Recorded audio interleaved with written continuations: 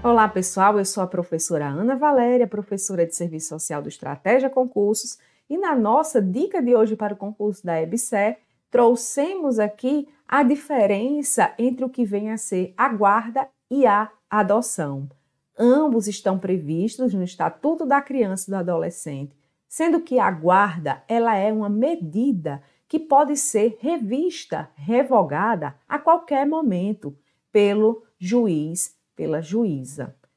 Porém, a adoção, pessoal, ela é uma medida excepcional e irrevogável. Excepcional porque a criança e o adolescente, ele tem a prioridade de permanecer no seio da família natural ou da família extensa, exceto em casos excepcionais que aí a criança ou adolescente vai para a adoção.